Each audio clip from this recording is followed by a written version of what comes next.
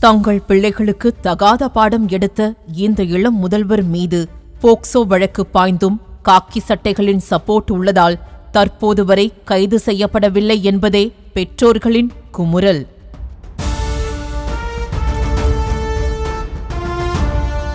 விழுப்புரம் மாவட்டம் திண்டிவனம் அடுத்த ரெட்டனை கிராமத்தில் அமைந்துள்ளது கிரீன் பாரடைஸ் சிபிஎஸ்இ பள்ளி. எழுநூறுக்கும் மேற்பட்ட மாணவ மாணவிகள் பயின்று வரும் இப்பள்ளியின் தாளாளரான சண்முகம் என்பவரின் மகன் கார்த்திகேயன் பள்ளியின் முதல்வராக செயல்பட்டு வருவதாக தெரிகிறது. இவர் தனது பள்ளியில் பயிலும் ஒன்பது மற்றும் பத்தாம் வகுப்பு மாணவிகளை தனியாக தனது அறைக்கு அழைத்தாலே மாணவிகள் நடுங்கிக் கொண்டே சென்றதாக தெரிகிறது.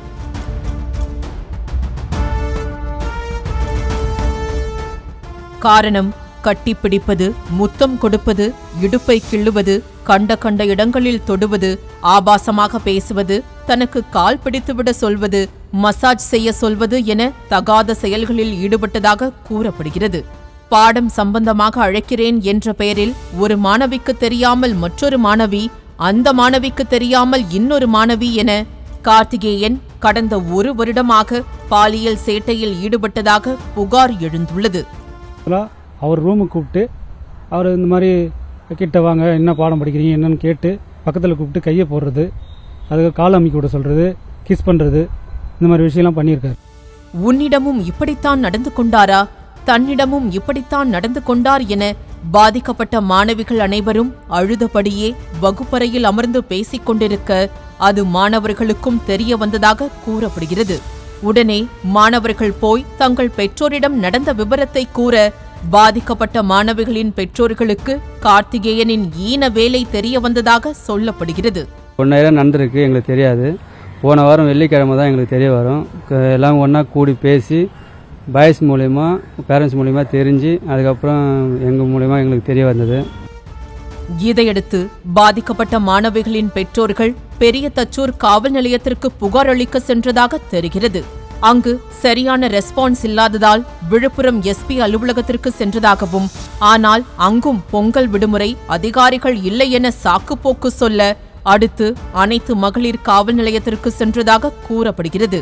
காலை பதினொன்று முப்பது மணிக்கு சென்ற பெற்றோர்களை மனு எழுத வைத்து அந்த மனுவில் அது சரியில்லை இது சரியில்லை என நேரத்தை இழுத்து கடத்தி பின்னர் எஃப்ஐஆர் போட்டதாக தெரிகிறது. நான் கம்ப்ளைண்ட்டை வந்து எடுத்துக்கிறேன். எஃப்ஐஆர் போடுறேன். ஆனால் ஒன் டே நான் ப்ரீஸ் பண்ணி வைக்கிறேன். உங்களுக்கு வந்து நாளைக்கு வந்து நான் உங்களுக்கு எஃப்ஐஆர் காப்பி கொடுக்குறோம். அப்படி சொல்லிட்டு சொன்னாங்க. நான் கொஞ்ச நேரம் வெயிட் பண்ணிட்டு இருந்தோம்.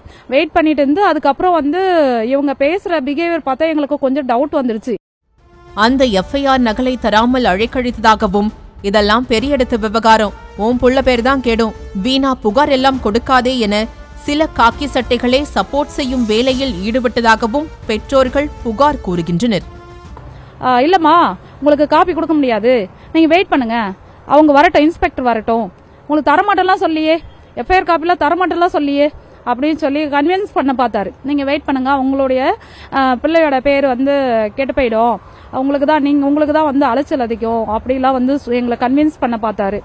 இது ஒருபுறம் இருக்க தங்களை செல்போனில் கார்த்திகேயன் விடாமல் அழைத்துக் கொண்டே இருப்பதாகவும் நேரடியாக தங்கள் வீட்டுக்கே வந்து பேரம் பேசி பிரச்சனையை மூடி மறைக்க முயன்றதாகவும் கூறும் பெற்றோர்கள். தங்கள் பிள்ளைகளிடம் பாலியல் சேட்டை செய்த கார்த்திகேயன் மீது போக்சோ வழக்கு பதிவு செய்தும் தற்போது வரை கைது செய்யப்படவில்லை எனவும் குற்றம் சாட்டுகின்றனர். எனக்கு ஒரு சொல்யூஷன் கிடைக்கணும் அப்படிங்கிறதுக்காக தான் நான் வந்து இப்போ அந்த போலீஸ் ஸ்டேஷனே போனேன். எனக்கு வந்து இப்போ டவுட்டா இருக்கு. கேஸ் எடுப்பாங்களா மாட்டாங்களா அப்படின்னு.